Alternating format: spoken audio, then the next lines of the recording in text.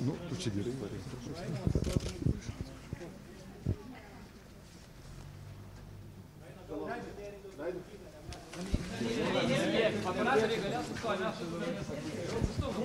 Нет.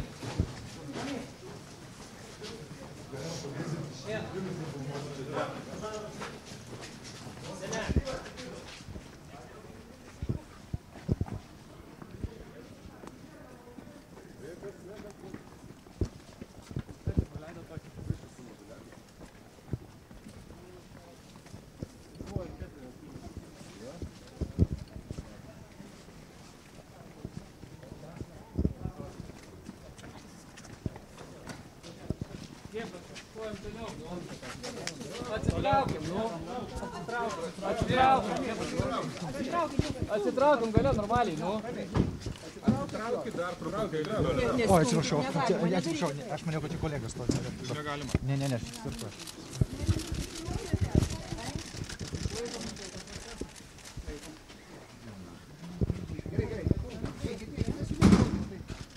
Nesiverškit, nesiverškit paskui. Viskas išės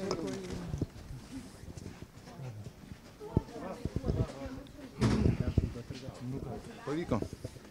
Gerai, kam pavyko? Mes, kaip matėme dabar, čia Neringa Venskienė buvo ką tik atvesdinta į Kauno miesto apylinkės teismą. Nuo ryto ji buvo apklausama Kauno prokuratūroje. Apklausa tęsiasi kelias valandas ir jos advokatė tvirtina, kad savo kalties ji nepripažįsta.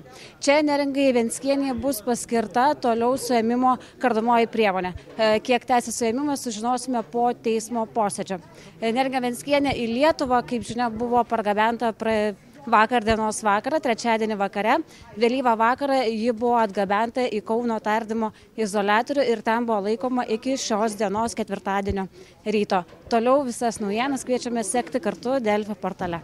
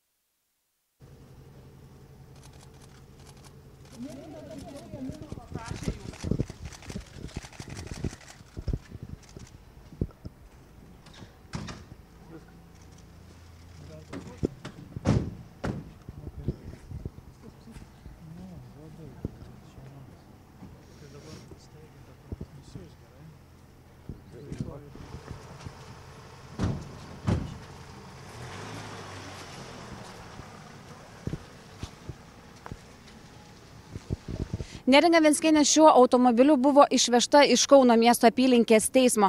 Čia ji kiek ilgiau negu pusantros valandos e, buvo, buvo teismo posėdis dėl jos suėmimo pratesimo, kurio paprašė prokuratura. Sprendimo šiandien dar nebus. Jis bus tik rytoj ryte apie 11 val. prieš piet. E, Neringa Venskienė buvo sulaikyta 48 valandom nuo tada, kai kirto Lietuvos sieną. Kada tai tiksliai yra, niekas nežino. E, Kas Toliau sekite naujienas Delfi portale.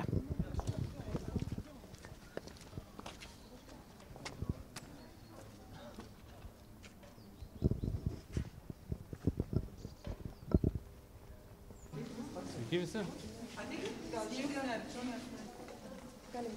Prokurorė, kiek laiko prašė suimti Neringa E, Pareiškime nurodžiau ir posėdį kalbėjom apie dviejų mėnesių terminus tiek nuo pačio įtariamo arba kitų procesų dalyvių.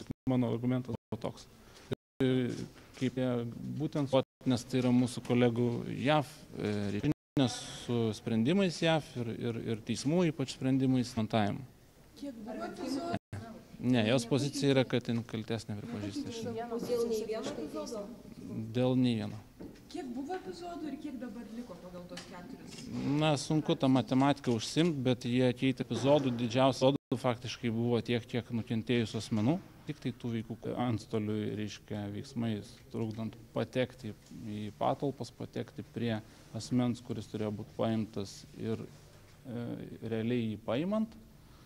Ir e, smurto veiksmai prieš, e, prieš Stankūnaitę. Jeigu taip epizodais kalbant, tai sakykime, kad turim du realiai epizodus Tai yra vienas yra, e, reiškia, į vieną laikotarpį, į vieną dieną, paimti vaiką.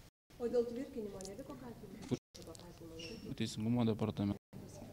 Mm, Vidutiniškai, sakykime, turinio ir e, parodymo aš jos tikrai šiandien negaliu analizuoti, nes tai tikrai nemanau dalykas, kurį mes šiandien turėtum viešinti. Ar matot grėsmę, jeigu jinai būtų išleista? Na, kitokia švelnesnė. Taip matau grėsmę, nes žmogus virš šešių metų slapstis ir, ir manau, kad gali tą daryti vėl. Tai pagrindinis motyvas ir yra, kad gali bėgti, slėptis. Taip, tai buvo pagrindinis motyvas. Ar tame, kad tiek sutrumpėjo na, tie įtarimai, nematote Lietuvos teisės saugos kažkokių, na, blogai atliktų darbų, kad nepavyko įrodyti Amerikoje? E, Čia jūs norit, kad aš pakritikuočiau save, tai, tai gal neatsakysiu, tada tie kritikuoja mane kiti. Ar tokie teisiniai skirtumai gali būti, vat kaip buvo kaltinimas dėl tvirtinimo suprantamas vienodai? Atsakyti, ar gali būti, kai matai, kad taip yra, tai nu, tiesiog taip yra. Tai reiškia ir gali būti. Nu, nežinau, kaip pakomentuoti. Suprantat, nebuvo sprendžiama, ir ką pabrėžė vakar kolegos generaliniai prokuratūrai, nebuvo sprendžiama dėl įrodymų. Tik tai formalūs dalykai ir tai yra, jeigu netingit, pasiskaitykit Junktinio Amerikos valstijų sutartį su Lietuva dėl ekstradicijos, ten yra viskas labai aiškiai parašyta ir nei vieno žodžio apie įrodymų vertinimą. Už tai, ko jinai kaltinama, kokia maksimali bausmė gali grėsti?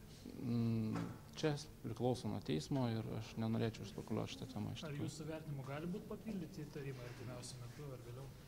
Dėl to taip pat buvo jums atsakyta vakar. e, Įtarimai mano byloje yra iš, kaip čia pasakyti, išskirstyti e, teisinės pagalbos reiškia, procese ir jie keistis negali.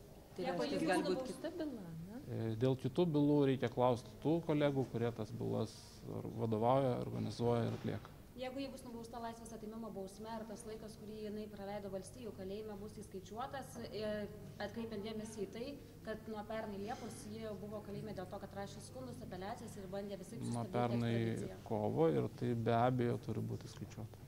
Ar prašymų kokių patikė Vinskienės pusė? Man ne, teismo nežinau. O ko jinai pati prašo? Jis prašė jas nusiimti. Rašytinis pasižadėjimas? Mm, Aš nenorėčiau jos motyvus dabar veltis, nes jų dar teismas neįvertino, todėl tai yra teismo prerogatyva. Bet jinai sakė tikrai nebėgs, patikino, jeigu ten ją... E, Jau atsakiau iš tą klausimą, nenorėčiau vertinti jos pozicijos, nes tai vertins teismas ir stėl susivienimo rytoj. Ačiū.